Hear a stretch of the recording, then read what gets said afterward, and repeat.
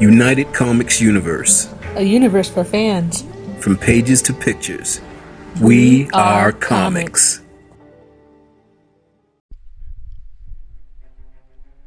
Check this out. JoninSho here, UCU family, United Comics Universe. This is what I'm pondering here. This would be great. I doubt it would ever happen, but this would be great.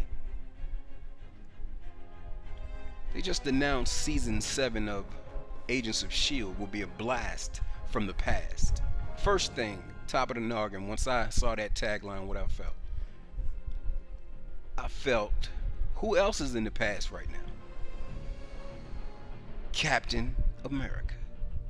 Steve Rogers. Because he went back for his one and only. Agent Carter. So could we, would we, should we expect to see Captain America and Agent Carter on Agents of S.H.I.E.L.D. in a blast from the past? It could be absolutely mind blowing, in my opinion. Especially since he retired from his role in the films. Rewind back to the past, and the vision, the um, the glory of Captain America will still live through television.